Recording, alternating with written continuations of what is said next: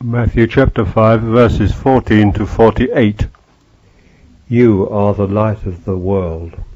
A city set on a hill cannot be hid. Nor do men light a lamp and put it under a bushel, but on a stand, and it gives light to all in the house.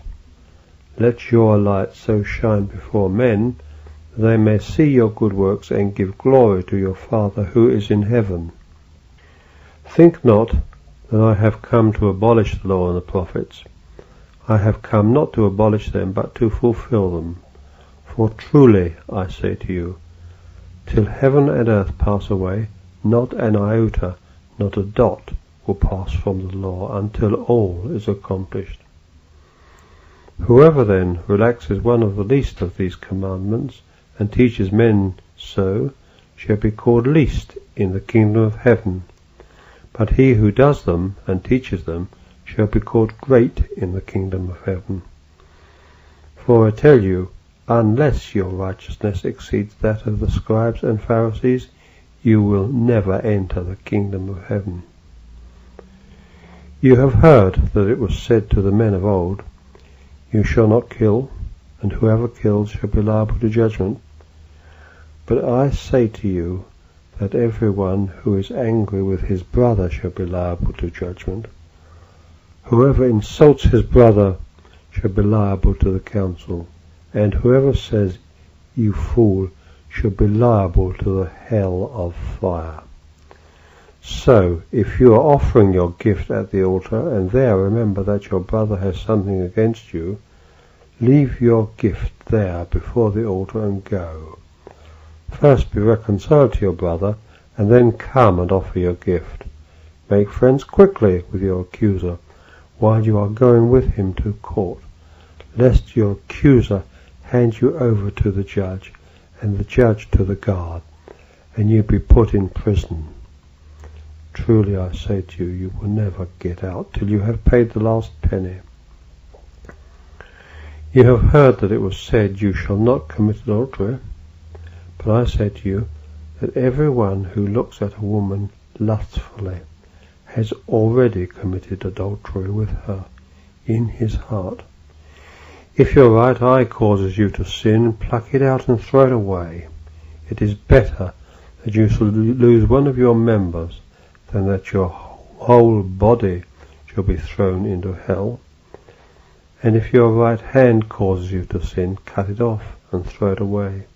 It is better that you should lose one of your members than that your whole body should go into hell. It was also said, Whoever divorces his wife, let him give her a certificate of divorce.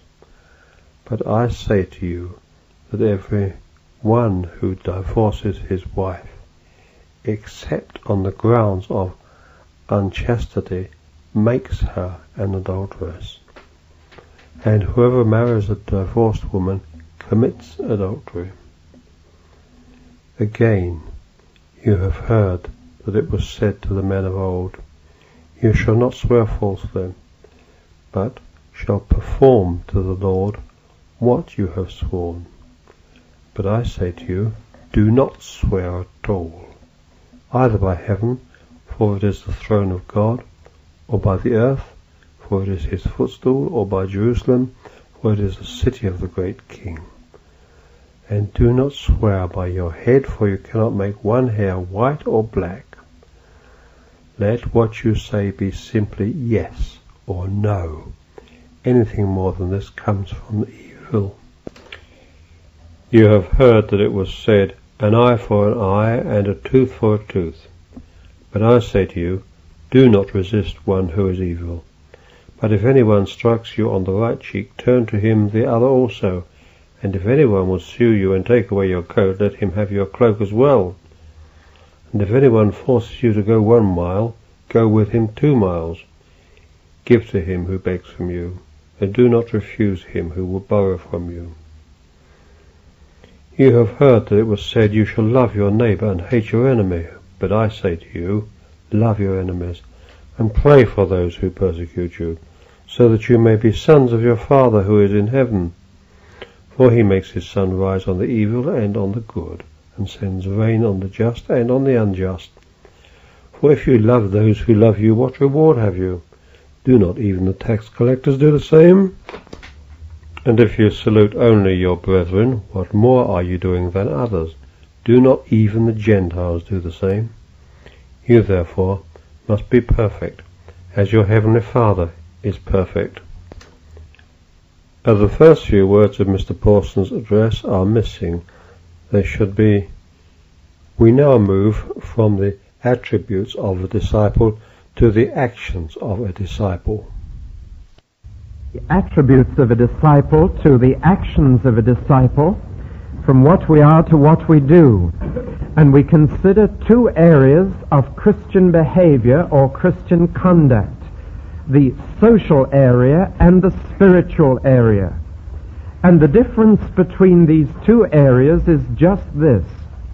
Our social behavior should be made as public as possible, but our spiritual behavior should be made as private as possible. Our purity should be shown to all men. Our piety should never be shown to any. And it is this contrast between these two areas that I want to bring out this morning. Any reversal of these two is an offensive kind of witness. If we parade our piety and keep our purity hidden, then that kind of testimony is far from helpful to the cause of the kingdom. We deal first then with our social behavior, our purity, our standards of morality. And Jesus said of us here the same thing which he said of himself. I am the light of the world, you are the light of the world. And in the New Testament, light and darkness are moral qualities. God is light and in him is no darkness at all. Men do not like the light because they live in darkness and prefer to keep their deeds dark. Essentially then, and I mustn't repeat yesterday, indeed it leads very well into what I want to say, essentially light is to be placed in as public a place as possible where it can have the maximum influence on others, where it can both expose what is hidden in the darkness and guide those who desire to be guided by the light. And this is what we are to do. And the hardest thing in the Sermon on the Mount, I think, to do is first to let your light shine before men. By nature, we do not want to do that. And second, to do it in such a way that they give the credit for your standards to your Heavenly Father. I think that's one of the hardest things that Jesus ever told us to do. First, to let people see our good works, but secondly, to let them see it in such a way that they give the glory to God. As Bengel notes on this verse, men are to see the shining and not the lamp, a point that was made last night. Somebody said to me after yesterday morning, if the world's in the soup, that's where the salt needs to be. And likewise, just as the salt needs to be in the soup and spread in the world and is no use in the salt cellar, the light of Christian morality must be set in public gaze if it's to be any help at all to others. From speaking of the light, Jesus goes on to speak of the law. He has not mentioned the Old Testament except by indirect quotation and implication. And there may have been those who thought that he was propounding a new religion. And so for the next few verses he describes his attitude to the law of God. There are two heresies which have appeared all the way through church history. One is to set the New Testament over against the Old. That heresy is as old as Marcion. And the other is to say that Christianity has no prohibitions, that we've changed from the negative thou shalt not to the positive thou shalt. Both these positions are oversimplifications, and Jesus corrects both with these four verses. First of all, he says the purpose of the law is to be fulfilled and not abolished. Now, what does this word fulfill mean? Some people assume that it means to be filled full. In other words, to expand and explain. But taking it in its normal usage in Matthew's Gospel, it means to be done, to be executed. Something that has been spoken is now translated into event, that it might be fulfilled which was spoken by the prophet. And the law of God is to be fulfilled, it's to be done. And Jesus came, among other things, to get it done, both in himself and in other people. He did not come to abolish it, but to get it done. It's true that he got it done by planting his spirit within people, so that their very love fulfilled the law, and he didn't do it in the old way by imposing external prohibitions, but he was fulfilling it in getting it done. The second verse in this section, verse 18, which includes a double negative and a truly, which emphasizes tremendously the verse, talks about the permanence of the law and would earn Jesus the title of fundamentalist today. After all, the jot was the smallest vowel and the tittle was the point of a consonant. And if a preacher says, I believe the Word of God to the smallest vowel and the point of a consonant, he's a fundamentalist.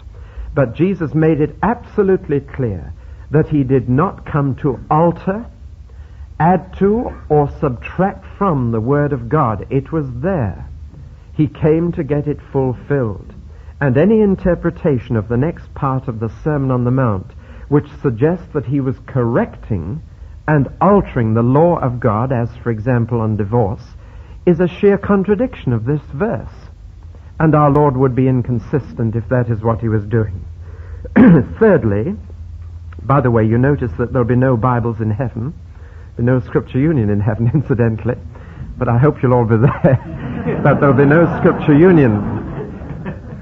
You see, the Word of God will not pass away till heaven and earth pass away. But we won't need Bibles in heaven when you see God face to face and know even as you are known and understand as fully as He understands you. You're not going to need a Bible then. You've got the real thing.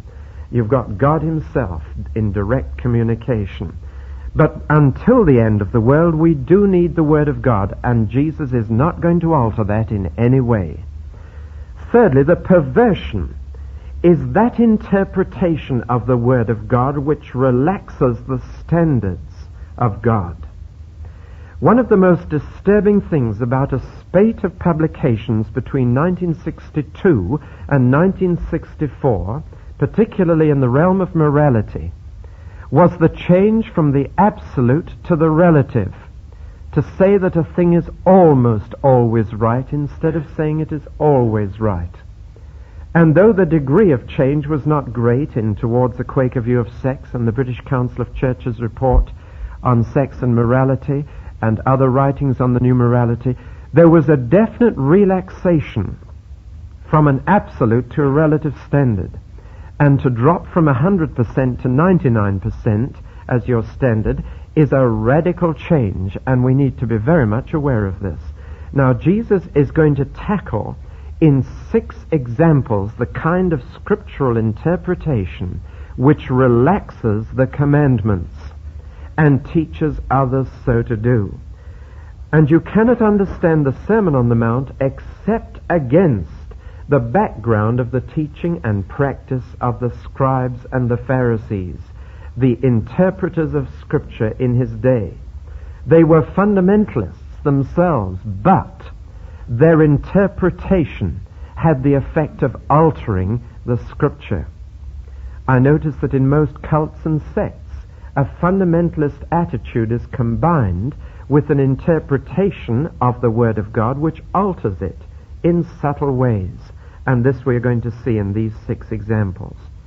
Finally, verse 20, he says, In the practice of the law, we've got to do better than the scribes and the Pharisees. They have failed to make the grade. Now, this is an extraordinary statement. For the Pharisees were outstanding in doing good deeds. They were outstanding in attending worship. They were outstanding in studying Scripture.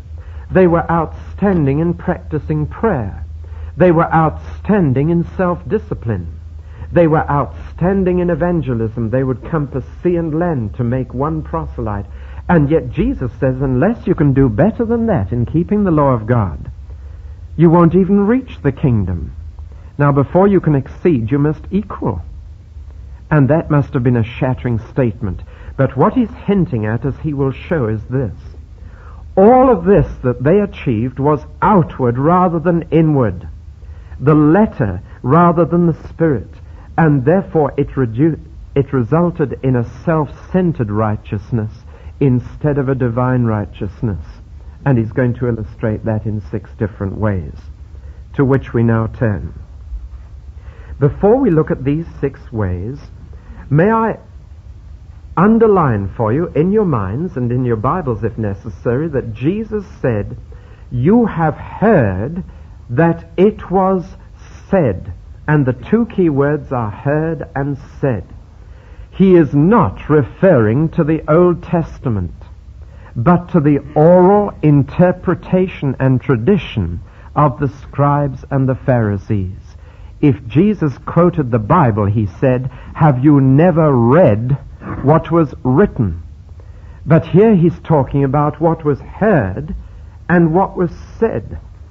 In other words, he's dealing with the fallacies of second-hand Bible study. Fundamentalists, yes, but who ascribe to their own interpretation the infallibility that belongs only to the inspired word. Now, may I say that all of us are guilty of this kind of confusion. The most easy form in which this happens is if you get a Bible which includes between the lines of the Word of God the comments of men. No names, no pacto, but I think you understand what I mean.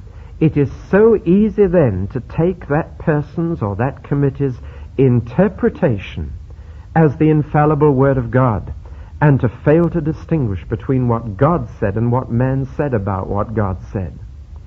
The use of Bible reading notes can be a similar delusion or snare. And I, I, was interested to learn this morning that in the early days of the Scripture Union there were no notes. You had to read the Bible by itself. Now don't get me wrong, Bible study notes can be a tremendous help. But I advise the people of my church as soon as you can do without them, do without them. When you can walk, throw the crutch away and see how you manage. Now that may sound extraordinary advice, but it's because the subtle temptation when you're using notes is to spend far more time on the notes than on the Bible. It's a temptation. And the best sort of notes are those that do not spoon feed and don't give it all, but encourage the person to go back to the Word and get it for themselves. And this is why I stand foursquare on the second principle of the Evangelical Alliance, the right and duty of private interpretation of the Word. And my purpose in speaking to you this morning and expounding the Scriptures on Sunday by Sunday is to encourage people to go and read it for themselves, not to accept my interpretation. And if you feel like coming up afterwards and saying, you know, I disagree with you on that point, hallelujah. I'm thrilled about that. We're not in an authoritarian Christian fellowship. No interpretation is infallible. But if it encourages you either in hearing the word expounded or in reading Bible study notes to go back to your Bible and, and regard that as the main source of your convictions, then that's the whole object of the exercise. Our whole aim is to get people into the Word, not into our notes, not to our sermons, but into the Word, where there they may find the Word of God as it actually is. And all of us, I'm afraid, read back into Scripture what is not there. Heard a preacher who gave out a text. He said, This is my text. I have two points what is in this text and what is not in this text. And since we're short of time, I'll take the second first. now, our Lord's interpretation our Lord's interpretation of Scripture is set over against the scribal interpretation of Scripture. This is not the New Testament correcting the Old. This is not Christ correcting his Father's laws. This is his interpretation as against theirs. And the difference was his carried the authority of God and theirs did not. So we take the examples he gives two examples of where their interpretation was far too narrow and limited, was the letter and not the spirit, and there is a danger in being a literalist. The first example is murder, and their addition of the words liable to judgment, which do not occur in the Old Testament, reduced the sin to a crime and the court before which you were responsible for it to a human court. In other words, it limited that commandment in its scope to the crime of murder and the possibility of execution by a human judge. Whereas the obvious intention of the, of the commandment was very much broader than that. It was to cover many other things. You can kill in thought and in word. You don't have to stick a knife in someone's back to be a murderer in God's sight. God hates all forms of murder, whether in thought or word or deed. And the commandment is intended to say just that to us. And a literalist approach limits it to crime. One of the most difficult things I find today is to get across to people the difference between sin, crime, and vice. Vice is what you do against yourself. Crime is what you do against others. Sin is what you do against God. That's a very broad distinction, but I think it holds. And I may have no vices and no crimes in my life, but that doesn't mean I'm not a sinner. Hollywood has got these three terms dreadfully confused. And the commandment, thou shalt not kill, was dealing with sin, not with crime.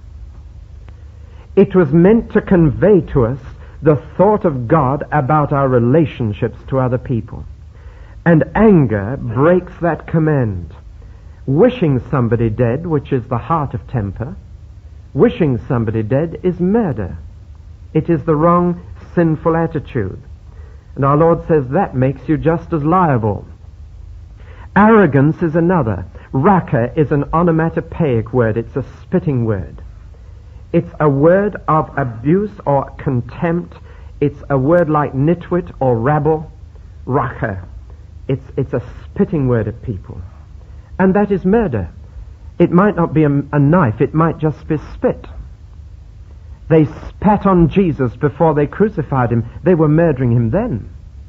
It was an act of contempt to spit at him. And that is murder, even if you're using a rather ineffective weapon. In practice, it's murder. Abuse is yet a third way of breaking this. The word literally is moron.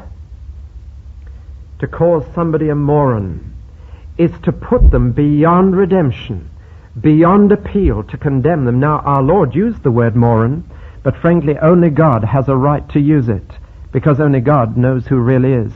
And Jesus once said, a man who lives entirely for money, who pulls down his barns and builds greater and thinks of nothing else is a moron. Jesus did say that. And he called two other people morons. But he said, when you do that, without the knowledge which God has, when you take it upon yourself to dismiss someone as an utter moron, you are virtually killing them in thought. Now, this, of course, is a very high standard. It goes to the spirit of the law rather than just the letter. And it means, quite frankly, that there are many, many more murderers around than we usually realize. Many more. And that there is within the, eh, many of our hearts the seed of this sin. Therefore, on the positive side, settle out of church and out of court. Go out of your way to be in a right relationship with people and not a wrong one. I heard of a missionary in the South Sea Islands of the Pacific who was holding a communion service, Methodist missionary, and they were coming forward to the front uh, to kneel down to receive the bread and the wine. And a man came forward to kneel down, and as he knelt down, he began to shake, and, and his face was filled with rage, and he jumped up and he ran out of the church. A minute later, he came back in, calm, and knelt down and took the bread and the wine. And when the missionary asked him after the service what on earth went wrong, he said, Well, he said, I'm just visiting this church, but he said, when I knelt down, I found myself kneeling next door to the man who ate my father. And he said, I was so angry with him that I realized I just couldn't stay for communion. And I ran out. But he said, as I ran out of the door, I saw a picture in the sky of Christ on his cross, and Christ was saying, But you did this to me. And so he said, I, I dealt with it outside the church and came back in and knelt down next to him. That's very practical. Before a man eats of that bread or drinks of that cup, let him examine himself. Settle out of court too, for once sentence is passed, it's too late to try and put a situation right. Put the thing right. Don't put it wrong, but put it right. And our Lord always matched a negative injunction with a positive. The negative, don't be angry, arrogant, or abusive. The positive, settle out of church and out of court. Now, the second example is the matter of adultery. Now, sex is prominent in our society, in our nature, and in our Bible. The most realistic book is the Bible, and it says a great deal about this. And so it needs to, for this is a vital part of life. And God has two simple standards regarding this matter. Very simple. And from these two standards, every other injunction may be deduced. Absolute chastity outside marriage, absolute fidelity inside marriage. That's the simple teaching of the Word of God, which our Lord endorsed and which Moses taught.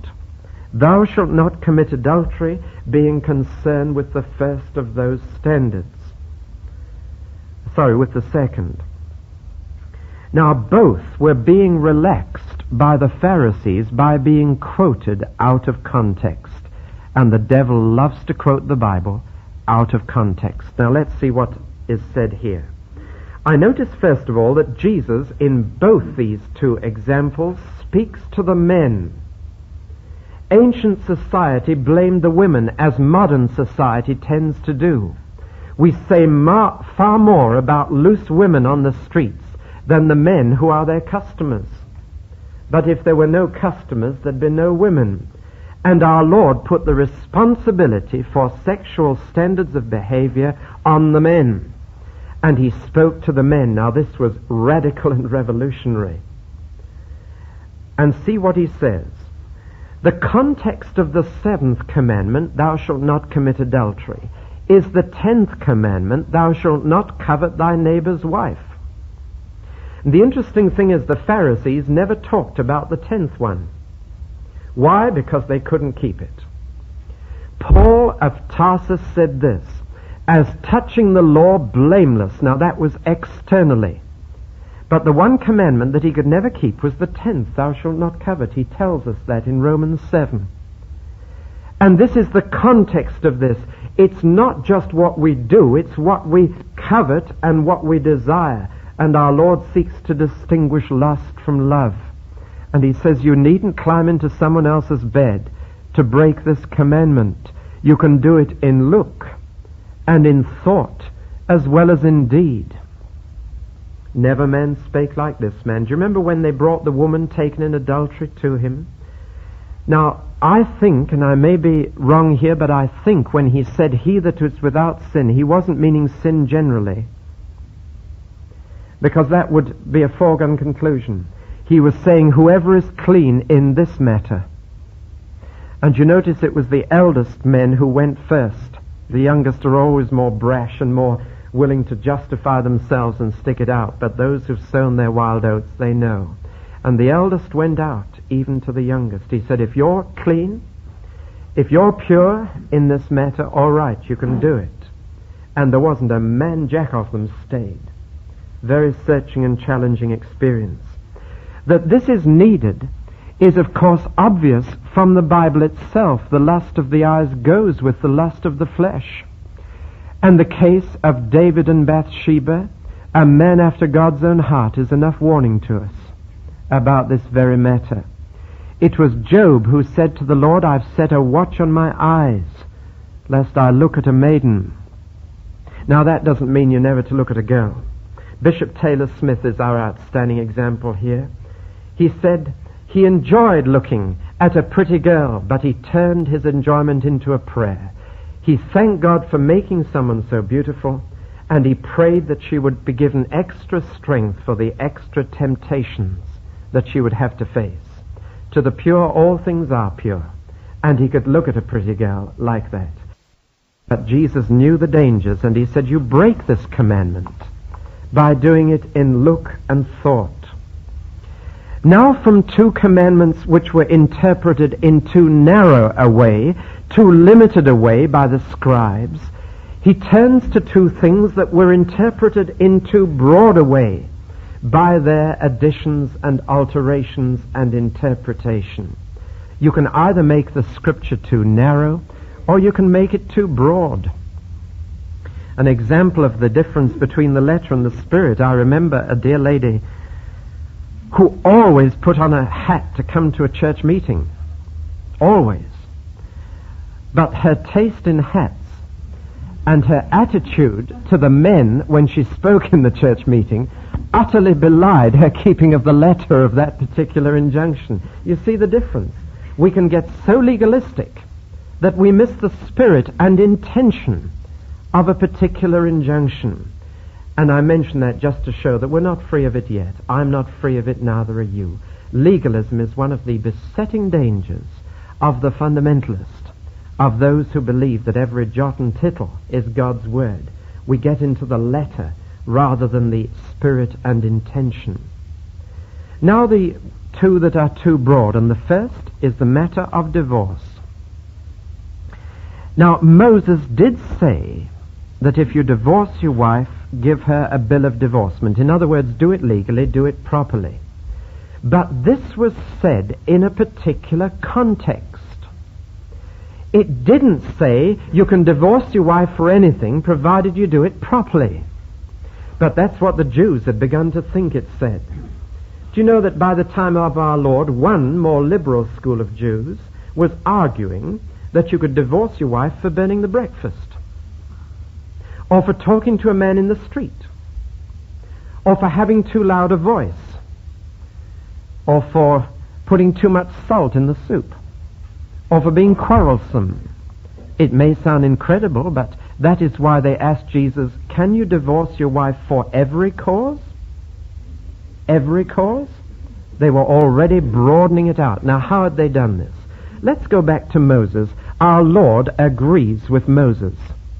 Deuteronomy 24 states this that if a man marries someone and finds right at the beginning that there is an unseemly thing in her, then he must write out a bill of divorcement. This happened, of course, or nearly happened to our Lord's own mother. Joseph was betrothed to Mary, and he found her with child, and being a just man, he resolved to divorce her privately. Now that was in accordance with the Mosaic law. The unseemly thing was obviously something which prevented that woman coming as a pure virgin to begin a one flesh relationship with her man. And you notice it referred to something that happened before the marriage, not something that happened afterwards, but which was only discovered at the beginning of the marriage. And he had to produce proofs to the relatives of this unseemly thing. Now our Lord makes only one exception to his divorce position, and it is the exception which Moses made. It's the exception of something that happened before marriage. Now, a number have already said it, they were wondering how I was going to deal with this when I got to it. It was my doubtful privilege to give uh, a paper on the meaning of this word porneia to a theological study group in London on which sat Professor Anderson, who was then on the Commission for Divorce for the Church of England, uh, and was chaired by Mr. Stott and Mr. Stott introduced me as an expert on fornication who was going to give us a paper on the subject. very doubtful thing. Well, now, I have that paper with me, and if you want to look at it, you can see it afterwards. I haven't time to go into it now.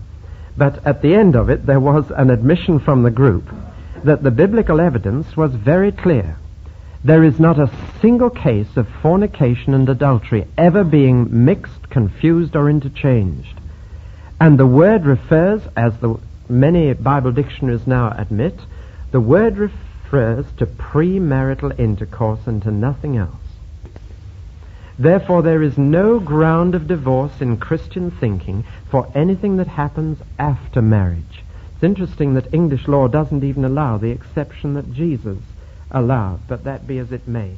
Jesus said the original intention is the thing that a man leaves, that two people leave their family and become one flesh and cleave to one another. That's the intention.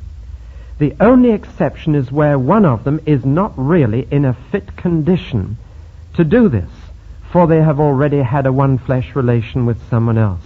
Where that is discovered, then the marriage doesn't get off to a right start. And this was a concession to the hardness of the human heart, which finds that sort of thing difficult to forgive and forget. And Jesus made the concession as Moses made the concession. But the point is this. He is saying, in arguing about the exception, you've made the exception the rule. And if I spent most time this morning on the exception, I'd fall into the same trap as the Pharisees. The rule is the thing, not the exception. And the rule is absolute fidelity inside marriage.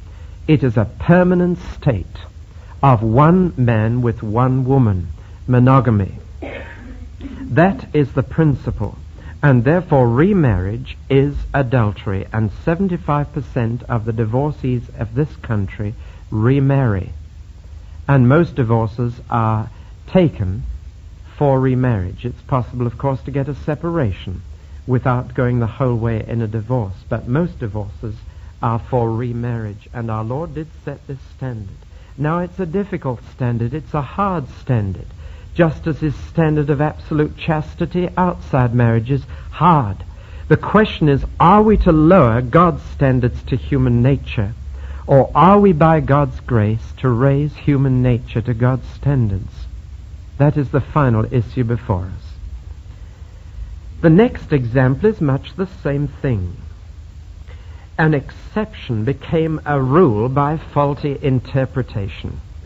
Now, this part of the sermon is a little irrelevant to our society because swearing in this sense is not too common.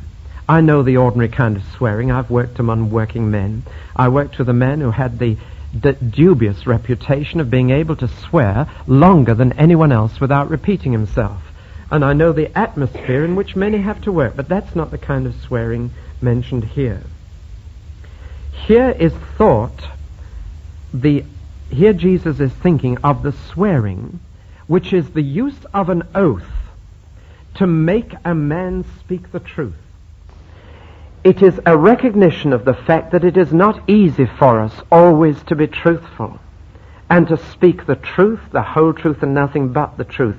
And in certain circumstances, it is absolutely vital that a man speak the truth. And one way of doing that is to bring the fear of God into his heart by making him swear by God to tell the truth, the whole truth, and nothing but the truth.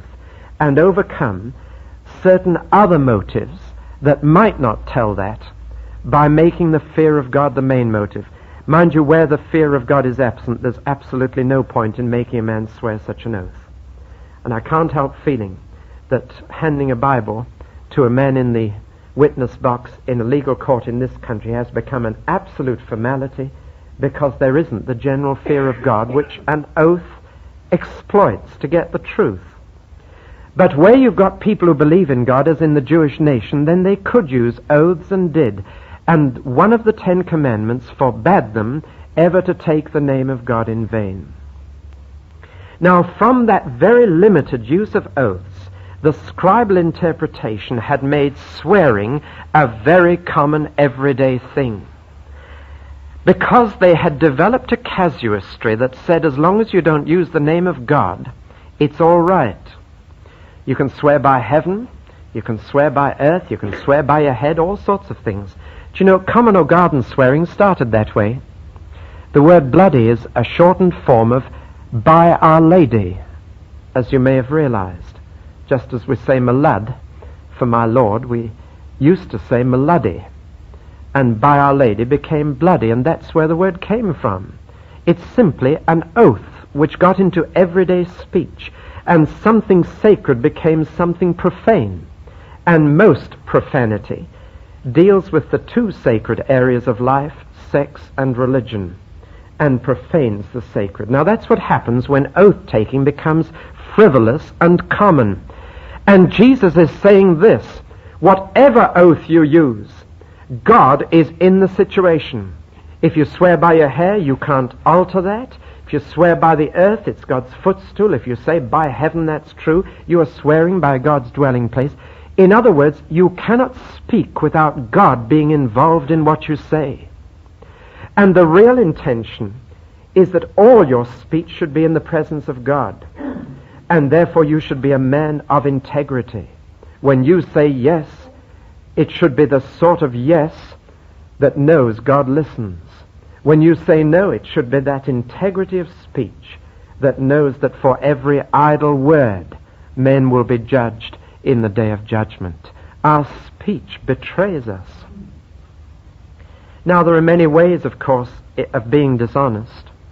Exaggeration is one, very common one in Christian circles, about the results of a crusade, about blessing in a particular occasion. Very easy to try and magnify Lord by exaggerating to his glory.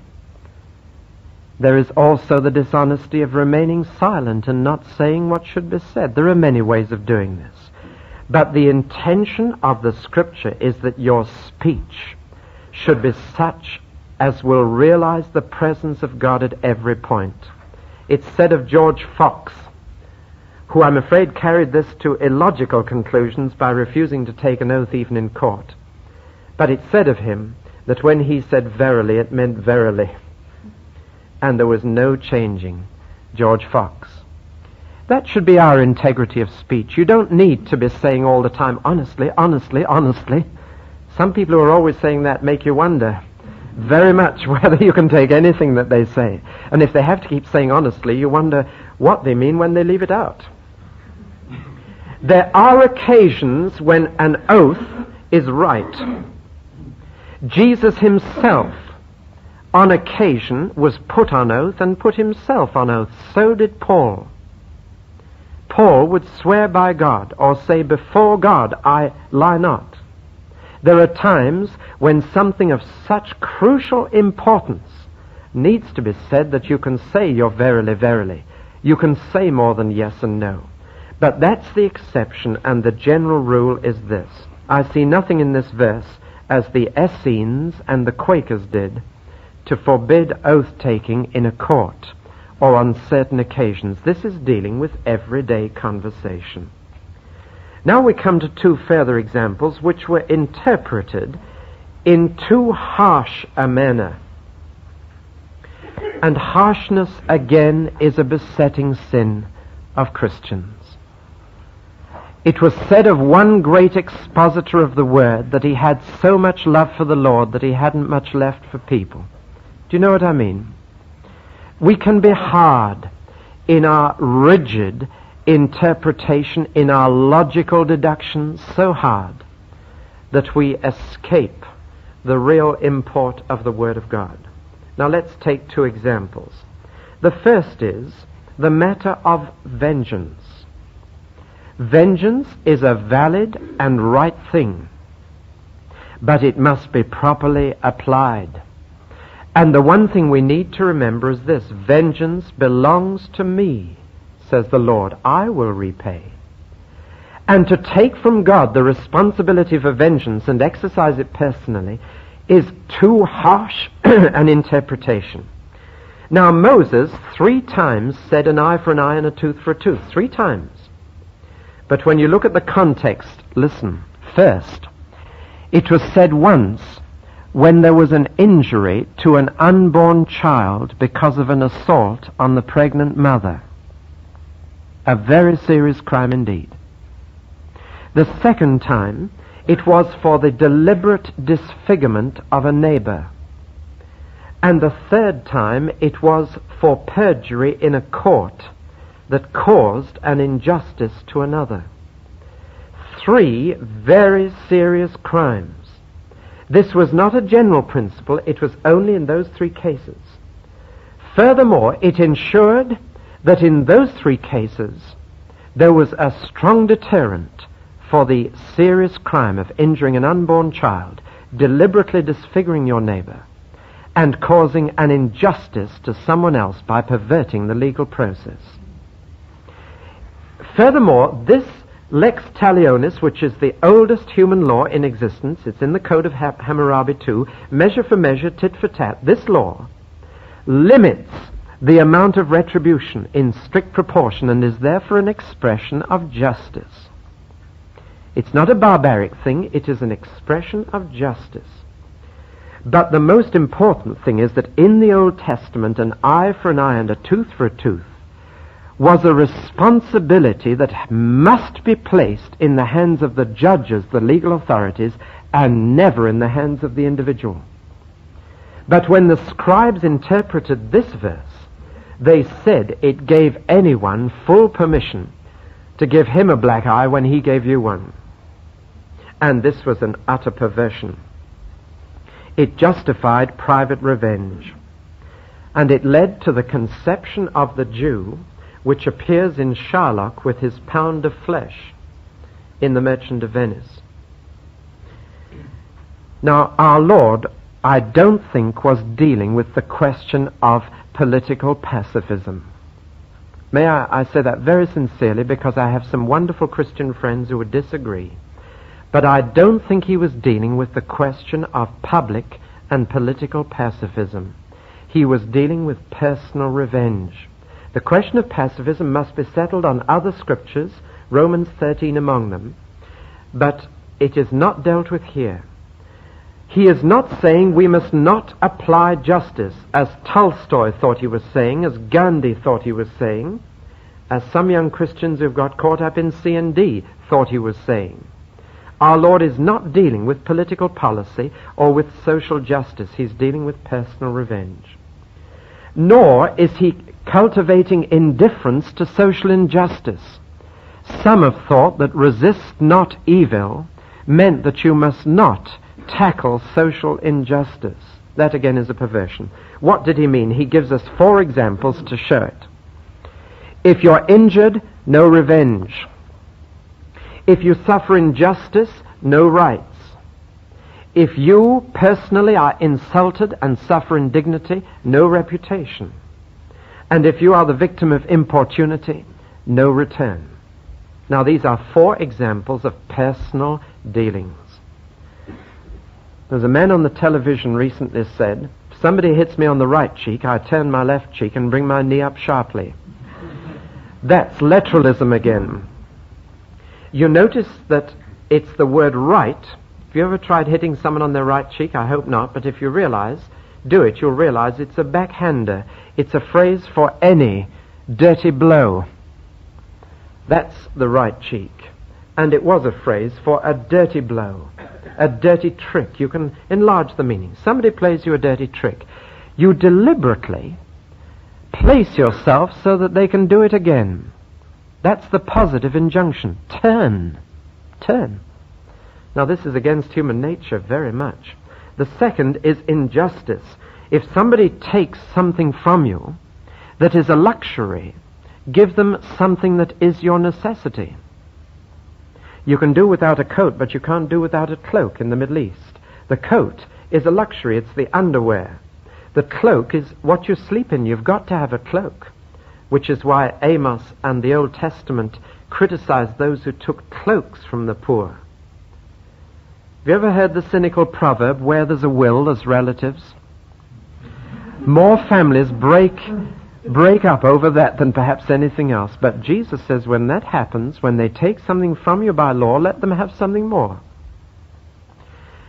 If anyone compels you to go one mile, now remember that this was in occupied territory and a Roman soldier had the right to lay the flat blade of his spear on anyone's shoulder and compel them to carry his baggage a statute thousand paces, a millia. And in an occupied territory, it was with great reluctance that Jews submitted to this indignity of having to collaborate with the enemy. Jesus said, Go a second mile. As somebody has delightfully commented, the first mile is rendering to Caesar the things that are Caesar's, and the second mile is rendering to God the things that are God's. Going the second mile, you notice positive again. If somebody hits you on the cheek, turn. If somebody takes your coat, let him have your cloak. If somebody compels you to go one mile, go two miles. Every time it's a positive injunction to lay yourself wide open to exploitation and abuse. And the fourth is if a beggar comes to you, give him what he asks. Don't expect it back again. Give him what he asks. I remember having supper once with Toyohiko Kagawa, that great Japanese Christian. And I remember him saying this, why should the devil have all the world's spendthrifts? He said this to justify his own reckless generosity with his fortune in the slums of Tokyo. Why should the devil have all the world's spendthrifts? Jesus is the perfect example of these four injunctions. They struck him on the cheek at his trial, but he didn't strike back. He let them do it again. They took his clothes off him, and he was stripped naked. They compelled him, exactly the same word as here, they compelled him to carry his cross. And one of his last acts was to be generous to a dying thief who begged something from him. He was the perfect example of all these things. He always practiced what he preached. And the final example is that of malice. Here we come to the heart of the Sermon on the Mount. And the most blatant misinterpretation of Scripture the Pharisees ever made. Moses had said, Love your neighbor. And the logical expositors got to work on this phrase. They said, Now that means that if you've got to love some, that you've got to have a different attitude to others. And the opposite of love is hate, so there are others you've got to hate, and the opposite of neighbor is enemy.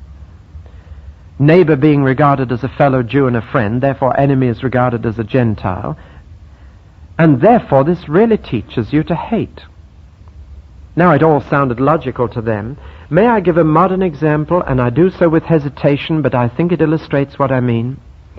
The fact that the Bible states that God predestines us to our salvation does not logically mean that he predestines others to damnation.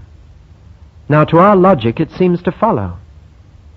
But I wonder if it doesn't lead to too harsh an interpretation. Most theological systems are logical. I find the Bible is not always logical. I cannot reconcile human responsibility and divine predestination, except that I must believe that God has free will as well as I have a choice to make. And I find that both the Arminian and the Calvinist would love to rewrite the New Testament in certain parts. There seems to be contradictions that whosoever will may come, and only those whom the Father draws will come. Well, I'm content to leave that. I just must beware in my interpretation of being too logical and drawing what to me are valid deductions that become too hard and too harsh. And so they said, love your neighbor. Right, logically, that must have an opposite. That must have a corollary. And the corollary is hate your enemy. Jesus said that is not a logical deduction. You should argue from love rather than logic when you interpret a passage like this. And so, in the heart of the Sermon on the Mount, he tells us to love our enemies. Now, the Old Testament had said that. Proverbs had said, if your enemy hungers, feed him. If he thirsts, give him to drink, for you'll heap coals of fire on his head. A young Christian in India reading that said, oh, that's terrific. I'd like to see him scorch. well, now that's not the spirit of the uh, injunction. Actually, it goes back to a practice in Egypt where a penitent sinner would walk to the temple carrying a metal tray of burning charcoal on his head as a sign of penitence. It really means to be penitent. And if you return good for evil, that is likely to lead to penitence. A young man went into the barrack rooms he knelt down to say his prayers by his bunk because there was nowhere else to do so, and two heavy army boots were thrown very hard at his head and caused him much pain. A sergeant sleeping opposite had thrown them. The following morning, when the sergeant got out of bed, there were his boots back again by his bed, polished. And the sergeant said, I've got to find out what makes a man do that. And He became a Christian as a result. To return evil for evil is animal. To return good for evil, or evil for good, is satanic. To return good for good is human, but to return good for evil is divine. And Jesus said, even the worst men, tax collectors, even the people outside God's people, the Gentiles, have a reciprocal decency. That's just being like men to return good for good. You're arguing from this scripture as if you're a man. But you are to be like God perfect as he is perfect. And the word means inclusive, comprehensive, all round. Just as he loves all, you are to love all. That's what the word perfect there means. It doesn't mean the absolute perfection. The word means to be complete in your love. And he sends his son on the good and the evil. Or as the old poem I used to learn as a child, the rain it raineth on the just and on the unjust fellow. But it raineth more so on the just because the unjust's got the just's umbrella. But it's the same rain. and, and God's, God's providential care is over all his creatures. It's inclusive. His sun and his rain come to all. Therefore, we are to be all inclusive as our Father in heaven is all inclusive. We are to love all as he loves all. That's the spirit of thou shalt love thy neighbor. Who is thy neighbor? Read the Good Samaritan again. Anyone in need, whether he's your neighbor or not, whether he lives next door to you or not, whether he's of your race or not, your enemy may be your neighbor for this purpose.